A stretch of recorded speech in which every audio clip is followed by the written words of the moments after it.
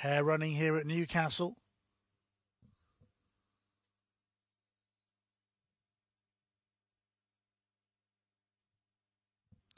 And away they go, and uh, Droopys Biggy very slowly into stride as well.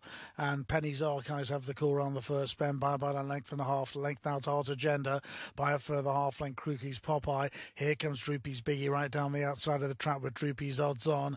Down to the third bend they go, and Hot Agenda takes over with Penny's Archive on the outside. Droopys Biggy trying to make ground, but he's got too much to do. Surely he's firing home down the outside. Droopys Biggy over the top with Droopys Odds On five, six, and three.